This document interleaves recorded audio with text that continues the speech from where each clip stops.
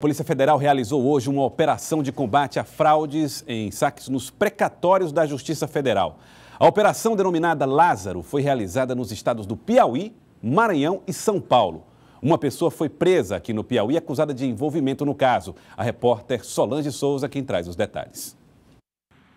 A movimentação foi intensa durante toda a manhã na sede da Polícia Federal em Teresina, reflexos da Operação Lázaro realizada hoje nos estados do Piauí, Maranhão e São Paulo. Cerca de 50 policiais federais cumpriram oito mandados de busca e apreensão, cinco mandados de prisão temporária e cinco mandados de condução coercitiva em sete cidades do país, incluindo Teresina.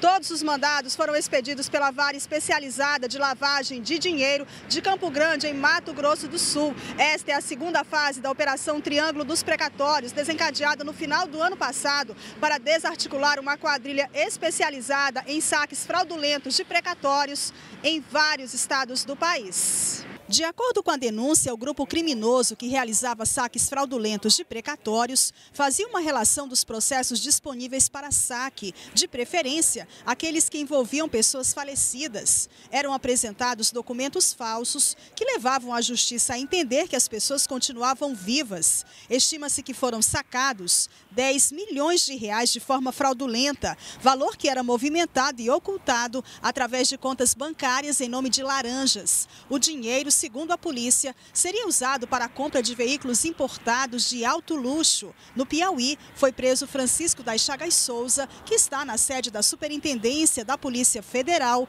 em Teresina.